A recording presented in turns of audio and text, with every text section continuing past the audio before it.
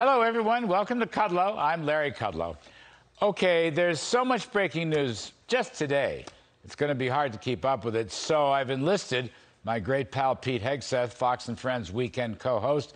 He's going to join me in just a few moments to review some of these breathtaking events that, frankly, only a little while ago seemed impossible. But that's the way it is nowadays. Now, to begin with, the young woman, Gabby Petito, tragically found dead in Wyoming's Grand Teton National Park. It's a terrible story, but the fiance still on the lam, unfindable, perhaps even dead, who knows. Then we've got this incredible, and I mean incredible, 15,000 Haitians under a bridge in Del Rio, Texas. Now, my question is how and when did they get here? I mean, I looked around, and all of a sudden, there they are 15,000. And by the way, not really from Haiti. Many of them, if not most of them, from Chile, Brazil, other parts of Latin America. I saw in the paper one migrant was interviewed and said, well, Chile was 100 times better than Haiti, but America is 1,000 times better than Haiti. So all of a sudden they're here. It's like immaculate conception. How does this happen? And the Bidens essentially doing nothing about it. And then we have the Afghan story. The catastrophe lingers. Turns out the drone bombing of ISIS K in Kabul was a political fraud. Tragically, only people were killed a family, including seven kids. Unbelievable story. Meanwhile, Mr. Biden's polls are plunging. The country has decided he's certainly not a unifier. His $6 trillion spending plan with inflation is highly unpopular.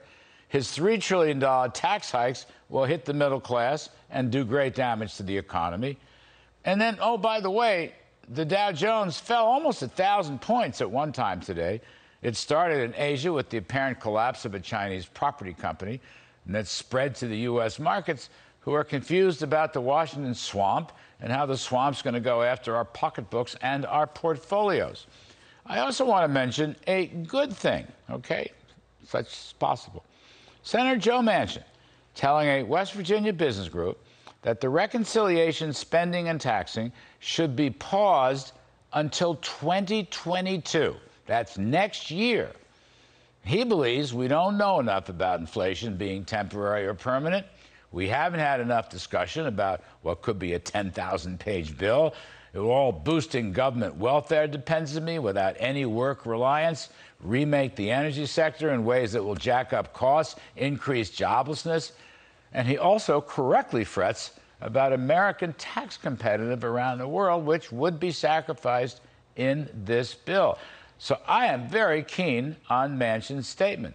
Postpone it till next year until we know more, can read more, and evaluate more. Now, folks, you know me. I say save America, kill the bill. Very simple.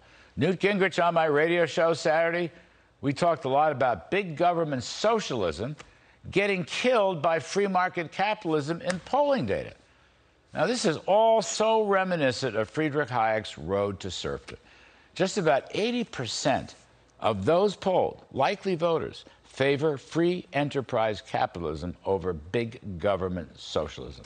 And by the way, new tax tables from the Joint Tax Committee show that people around $100,000 will get hurt by higher taxes. That's an official government scorecard.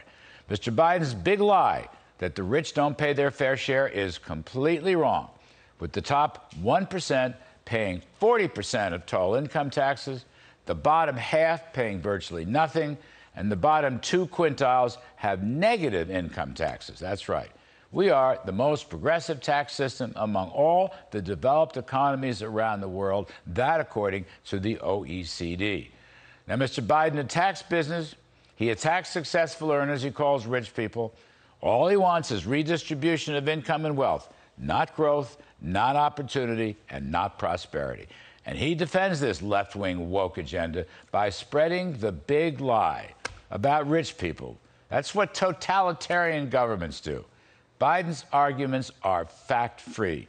Meanwhile, I'll say this with low taxes, low regulations, and energy independence, with typical average family incomes during the Trump years up by nearly $10,000.